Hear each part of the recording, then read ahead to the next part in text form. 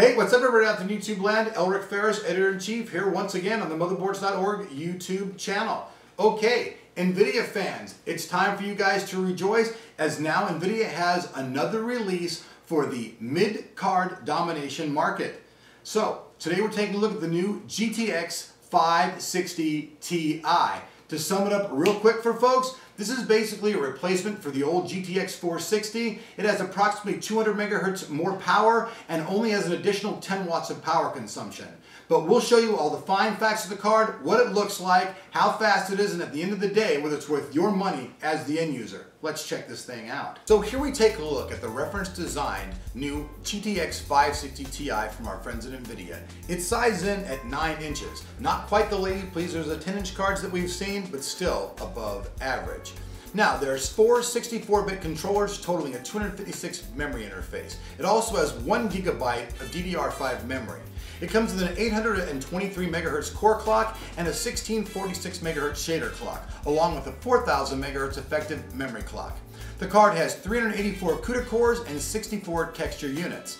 Now, it also has two 6-pin power connectors, which you can see right here. I'll flip the card around here in the back of the card. Here are the two 6-pin power connectors. Now, the card also features four-phase power circuitry, which is a better power regulation, which means that the card actually will last longer by better power. You see this on many of the motherboards you get when they talk about all their power phase stuff. Now, NVIDIA is also doing this. Taking a look at the rear I.O., we can see it has two standard DVI connectors and a mini HDMI port. Now, here on the back, we have the SLI finger. This is for hooking up to other cards so you can do triple or dual SLI. The card's not too thick, but it does take a dual slot. Takes a 170 watts of total power to keep it running. Show you from this angle. Now just take a remember folks, this is the reference design card from NVIDIA at launch day. So now we've taken a look at the reference design NVIDIA GTX 560 Ti. Let's move on and let's see how fast it is and how it compares to the competition in this price range.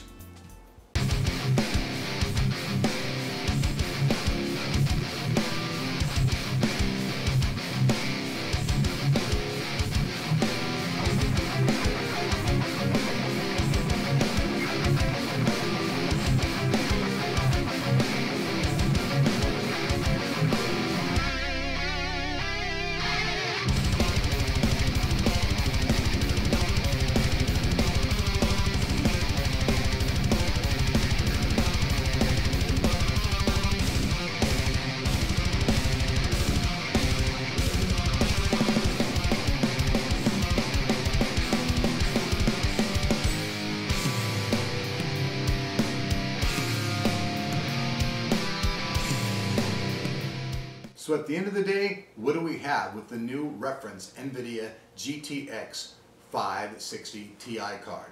Well, the card's going to sell for about $249 to $259, maybe less if you can find it on sale. Takes 170 watts of total power consumption and it's running at about 75 Celsius under full load. Now, mind you, if you're living out in the middle of the desert somewhere and your house is really hot, that's going to change as well if you live in a colder area. That's just in our standard room temperature in our house and we keep the temperature in our house about 74 to 75 degrees on average. So, you can see it scores about the exact same performance as a 6950 but at a lower price point. So for people who are fans of the NVIDIA series of cards, as long as you don't interested have no interest in a display port, then this is a very good card. For 249 $259, it competes very well with the AMD 6950 series, once again at a lower price point. So at the end of the day, I'd have to say for fans of the NVIDIA and fans of gamers, this is a very hot product here on the Motherboards.org YouTube channel. Thanks for watching.